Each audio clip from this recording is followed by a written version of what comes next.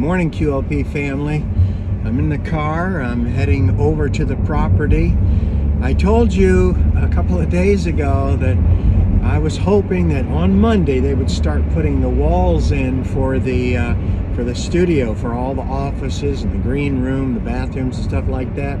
But no, no, no, that isn't what happened. What happened was, is they had an opening and they started early.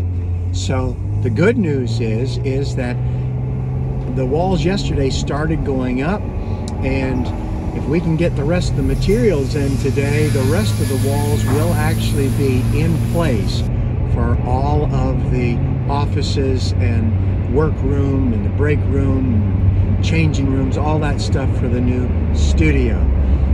And today, even as we speak, we're going to be heading over to uh, Southeastern Salvage where we're getting all of our doors, interior doors, for all of the offices. So today's a big day. It's Friday. We got a lot to get done. We're uh, stopping at the property to get some blankets and to give you a quick look at the walls that are already up and in place that got done yesterday.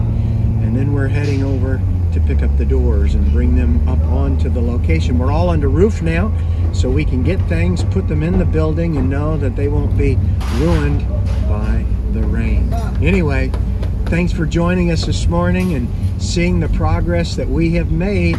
You have a wonderful Sabbath, and thank you so much for your support, for your prayers, and for your encouragement. God bless. establecido.